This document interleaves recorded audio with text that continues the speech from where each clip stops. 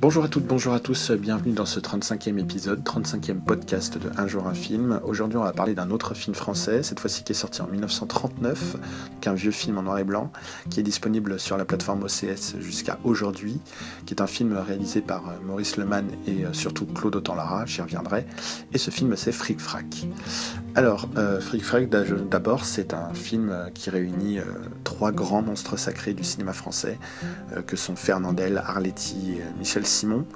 Euh, donc pour euh, résumer un petit peu brièvement euh, l'histoire, c'est en gros l'histoire de, Marcel qui est incarné par Fernandel qui est un petit employé dans une bijouterie, qui fait la rencontre en fait de deux petits escrocs, de, dire de la racaille, de la mauvaise graine, qui vivent de combine en combine, que sont Loulou et Jo, donc interprété euh, respectivement par Arletty et Michel Simon. Euh, Marcel va tomber amoureux de Loulou, euh, sauf qu'elle va un petit peu se servir de lui pour organiser un, fric-frac, qui est en gros en, argot un cambriolage. elle va organiser donc le cambriolage de, de, sa propre bijouterie, de la bijouterie dans laquelle il travaille, Marcel. Et évidemment, tout n'est pas si simple parce que fille du patron de Marcel euh, est amoureuse de lui, euh, veut l'épouser, sauf que lui ne veut pas. Voilà un petit peu euh, donc, le, le, pitch.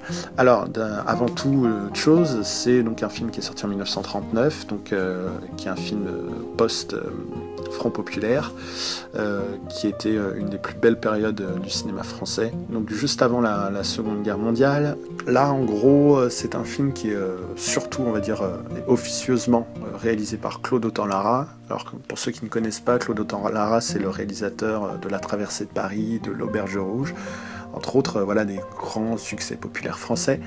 Euh, apparemment, c'est surtout lui qui, s'occupait des prises de vue et le réalisateur crédité, euh, parce que Claude Lara n'est pas crédité au générique, mais le réalisateur qui est crédité, c'est Maurice Lemann, mais euh, apparemment, il était, on va dire, plus producteur dessus. Et du coup, ça donne en fait un film très plaisant. voilà, on retrouve un petit peu les schémas de la comédie avec ces, euh, personnages, euh, ces intrigues amoureuses euh, voulues et non voulues.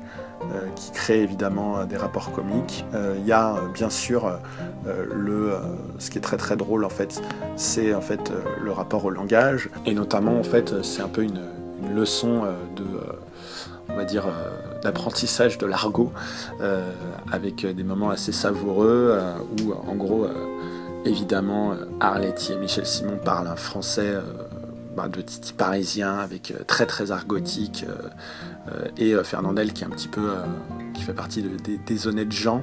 Lui est toujours un peu à la bourre et comprend pas trop ce qui se dit. Donc bah, il apprend un petit peu comme le spectateur à parler ce, langage de la rue quoi qui qui est assez savoureux. Et du coup, ça crée des, situations et des scènes en fait euh, comiques et cocasses qui fonctionnent très très bien. Donc c'est un film euh, voilà assez chouette, assez joli, euh, qui en plus a une réflexion sur donc la la morale et puis sur l'honnêteté, bah, l'amitié en fait et l'amour en fait qui peut naître entre deux, deux, classes sociales différentes, vraiment différentes. Donc le monde de la rue et, euh, le monde un peu plus euh, un peu plus clean, ce qui fait que euh, voilà ça, crée un film assez joli tout en restant assez drôle de par ses dialogues, de par voilà et puis surtout l'interprétation et l'incarnation de ces comédiens parce que bah, voilà évidemment c'est quand on a trois grands monstres sacrés comme eux qui se donnent la réplique bah, c'est évidemment c'est formidable quoi. C'est un film qui qui montre un petit peu bah, les bas-fonds, on va dire, de, la société parisienne de cette époque-là, euh, avec euh, ces petits malfrats, ces petits criminels en fait, qui se retrouvaient euh, et qui organisaient des combines.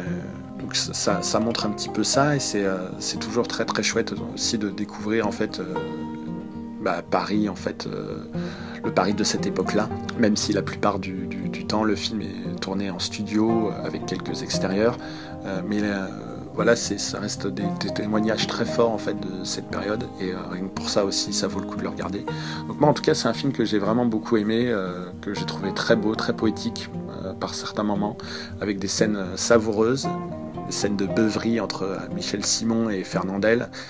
c'est toujours un régal. Et puis voilà, ça reste un très très beau noir et blanc en termes de photographie, en termes de mise en scène, on est sur quelque chose d'assez propre comme il était d'usage à l'époque et ça, en fait un film très chouette quoi. Donc voilà, moi c'est un film que je lui mets la note de 7 sur 10 et je vous le conseille, et dépêchez-vous parce qu'il est disponible jusqu'à ce soir. C'est un film qui dure en plus pas trop longtemps, il dure à peu près 1h40. Euh, et ça vaut le coup. Voilà pour aujourd'hui, je vous dis donc à demain avec un autre film. Au revoir.